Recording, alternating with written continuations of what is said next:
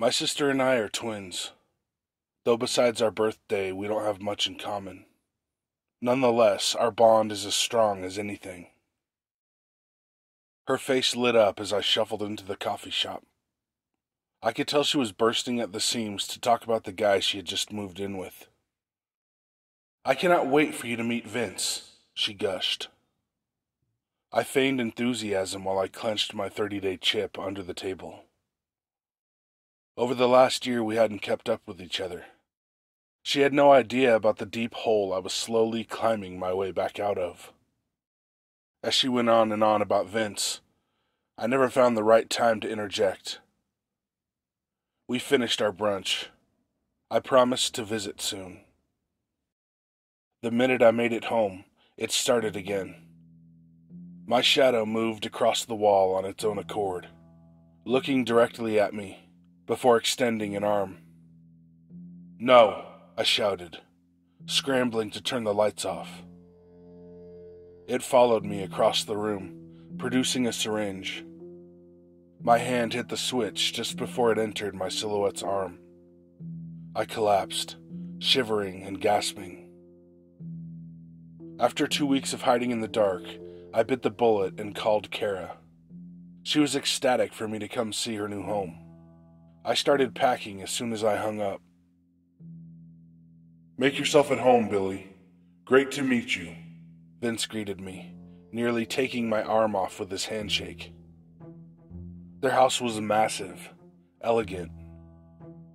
Kara ushered me to a chair by the fireplace where we sat shooting the breeze and enjoying the warmth. I had begun to relax when I caught movement in my peripherals. This time it was Kara's shadow going rogue.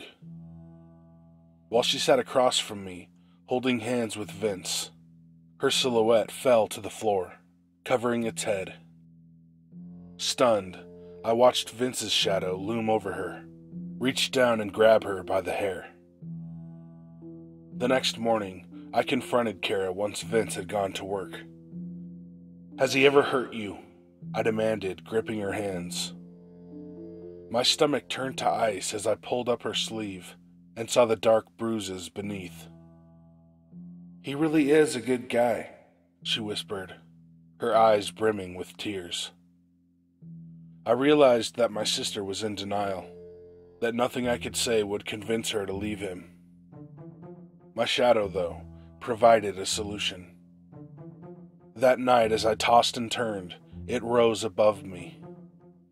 It beckoned me out the door and guided me down the hallway, arriving at Vince's office. I pushed the door open, following it to his desk. When Vince and I were finally alone, I used the opportunity to let him know he was never going to lay a hand on Kara again. He blubbered and begged forgiveness, swearing he would change, but I had my doubts.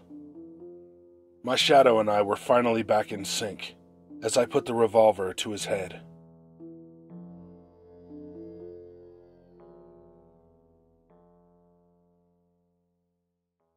Hey guys and ladies, thanks for watching. Links to all my shit are down in the description. That was, without a shadow of a doubt, by Psyoptic Nerve. And I'm probably going to do another short one by Psyoptic Nerve in a couple days. And I do have enough stories for a True Scary Stories, which I will be doing soon.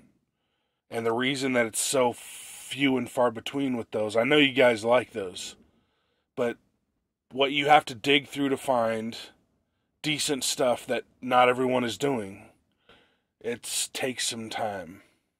It's uh you know. anyway, I'm doing that. I'm doing that. And I, the other thing is is that it was raining and it's been really windy. It was even windy through this recording, so we're going to see how this is even going to turn out. Um but that's what's going on with me. And that's about it. I hope everybody's well. And all that other shit, you know what I mean? So, anyway, be good to animals, even people. So.